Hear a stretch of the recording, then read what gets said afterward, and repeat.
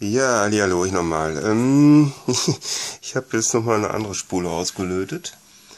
Ähm, die hat vom Aufbau ist identisch eigentlich, nur mit noch mehr Windung und mehr Draht und dicker und größer und ja. Ergebnis 55 Volt, gut. Bei einer Stromaufnahme von 45 Milliampere. Und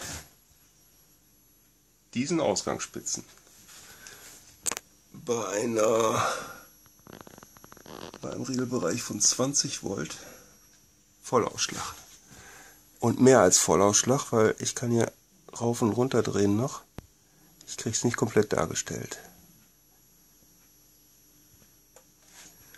Ja, das nenne ich mal eine schöne Schaltung. Bis dann. Ciao, ciao.